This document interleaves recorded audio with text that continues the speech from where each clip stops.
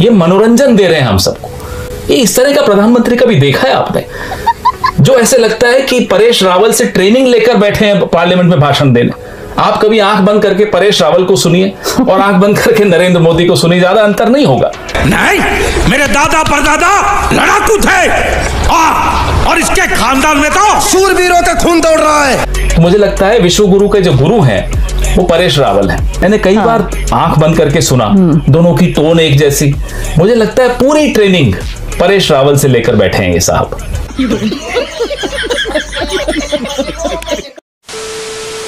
दोस्तों पीएम मोदी की एक्टिंग और भाषण के गुरु परेश रावल हैं ऐसा कहते हुए कांग्रेस नेता पवन खेड़ा ने पीएम मोदी का मज़ाक उड़ाया है। दोस्तों ये वीडियो सोशल मीडिया पर खूब वायरल हो रहा है। जिसमें मोदी जी के तमाम वीडियो को मिक्स करके ये वीडियो यूज़र्स द्वारा खूब शेयर किया जा रहा है। दोस्तों, अगर आप इस वायरल वीडियो में देखें तो पवन खेड़ा दावा कर रहे हैं कि प्रधानमंत्री मोदी जी की एक्टिंग परेश रावल जैसी लगती है। दोनों के बोलने का टोन भी एक जैसा है। पवन खेड़ा कहते हैं कि अगर आँख बंद करके आप मोदी जी को सुने और परेश रावल को सुने तो आपको ज़्यादा फ़र्क नहीं मालूम देगा। ये कोई नेता नहीं, बल्कि एक्टिंग करने वाले अभिनेता हैं। ये मनोरंजन दे रहे हैं हम सबको। ये इस तरह का प्रधानमंत्री कभी देखा है आपने?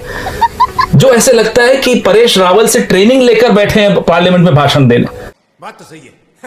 आप कभी आँख बंद करके परेश रावल को सुनिए और आँख बंद करके नरेंद्र मोदी को सुनिए ज़्यादा अंतर नहीं होगा। आइए देखते हैं मज़ा आएगा। नहीं मेरे दादा परदादा लड़ाकू थे।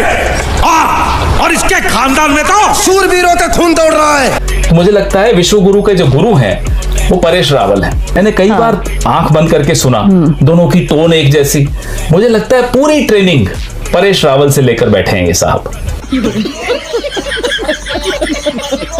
फ़िलहाल दोस्तों पवन खेड़ा के इस वायरल वीडियो को लेकर आप क्या कुछ कहना चाहेंगे अपनी राय हमें कमेंट बॉक्स में दें। और ज़्यादा इसी ही लेटेस्ट वीडियो पाने के लिए हमारे चैनल को तुरंत सब्सक्राइब करें। हम मिलेंगे नेक्स्ट वीडियो में तब तक के लिए गुड बाय।